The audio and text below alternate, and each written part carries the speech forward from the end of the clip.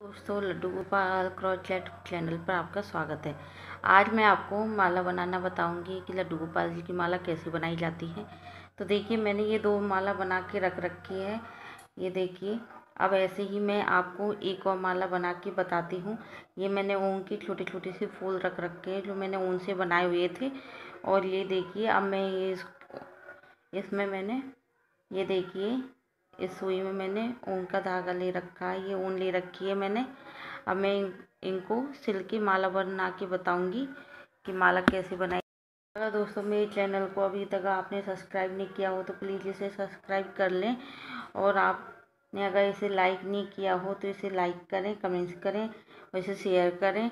देखिए, मैं आपको माला बताना बता, देखिए, पहले हम ये फूल लेंगे, ये देखिए, इसको ऐसे किया। इसमें बीच में डाल के, ये देखिए, बीच में डाल के और ये अंदर की तरफ़ कर देंगे। अगर आपको डबल ऊन का वो लेना है तो डबल ऊन ले सकते हो, सिंगल लेना है तो ऊन वैसे ही बहुत मोटी होती है तो हम क्या करेंगे कि सिंगल ही लेंगे, डबल नहीं लेंगे। ये देखिए, फिर हम ये लेंगे देखिए, रेड कलर लिया और इसमें बीच में डाल दिया।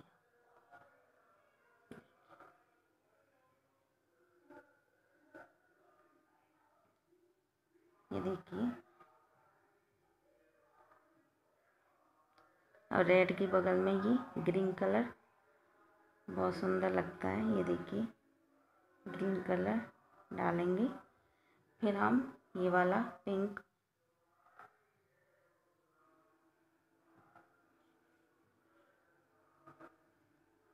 ये होली के हिसाब से है कि अब होली आ रही है।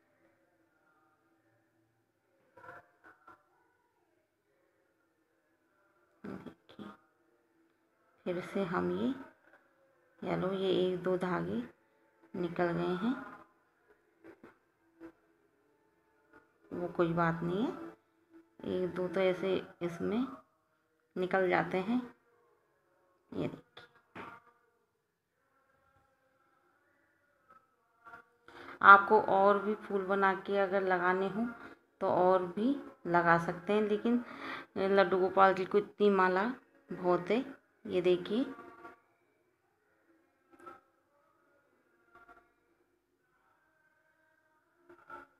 ये देखिए। अब इसको यहीं पे बंद कर देंगे। ये देखिए दोस्तों, कान्हा जी की माला बन के तैयार हो चुकी है। ये देखिए जब कान्हा जी को पहनाते हैं तो एक अलग ही अच्छा सा, सुंदर सा लुक आ जाता है उन पर। देखिए, ये हो, होली स्पेशल माला है। दोस्तों, मेरा ये वीडियो अगर आपको पसंद आए तो प्लीज़ इसे लाइक करें शेयर करें और इसे सब्सक्राइब करें।